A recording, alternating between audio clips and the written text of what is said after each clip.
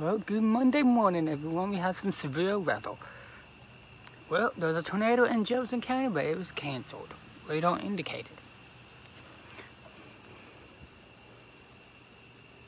That has discontinued.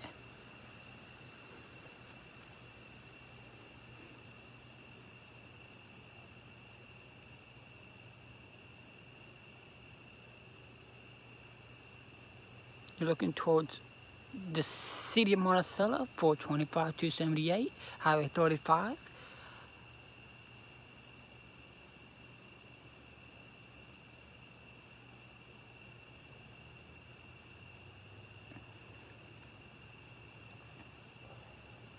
Right now, none of these storms have reached Monticello or Lincoln, I mean, Drew County or any other, other, other area counties, but it's in Bradley, Dallas, Calhoun, Ouachita, Cleveland.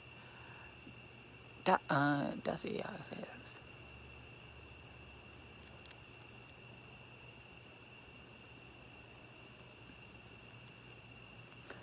The clouds are moving very fast. Yesterday in Hamburg was a rainbow, two rainbows.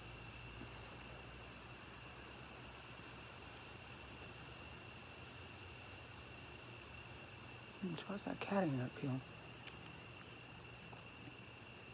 Anyone missing a cat?